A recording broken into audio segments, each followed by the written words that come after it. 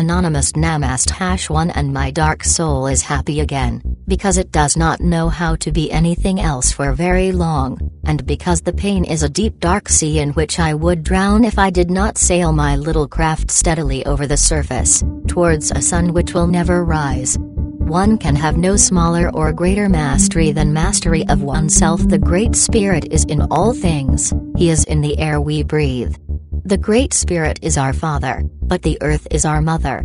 She nourishes us, that which we put into the ground she returns to us. When it's from the heart, a warrior knows that an angel and a devil are both competing for his sword hand. The devil says, You will weaken. You will not know exactly when. You are afraid. The angel says, You will weaken.